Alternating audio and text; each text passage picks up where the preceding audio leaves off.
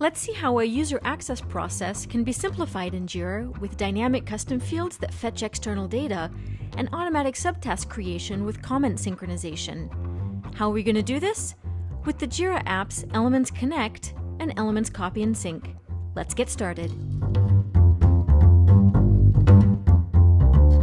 We're creating a new issue in Jira software to request access for a new developer to the Jira projects he'll need, the Confluence spaces, and the GitHub repositories he'll be using.